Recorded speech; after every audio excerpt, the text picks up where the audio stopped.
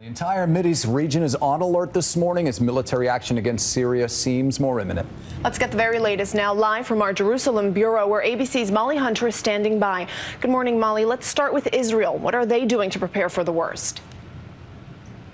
Israel is watching from a distance mostly. Uh, yesterday, Prime Minister Netanyahu said they were ready for any scenario. They were ready to respond if threatened uh, but they're mostly watching from a distance here. Normal Israelis are certainly taking precautions. Yesterday, there was a run on gas masks. We heard the demand for gas masks was up fourfold.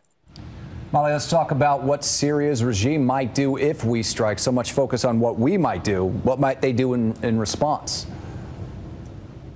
President Assad gassed hundreds, thousands of his own people, so there's no telling what he might do next. The Syrian regime has hundreds of tons of mustard gas. They have major stockpiles of sarin, and they have more than 100,000 missiles and rockets uh, that could hit many neighboring countries, including here in Israel. They're certainly ready here.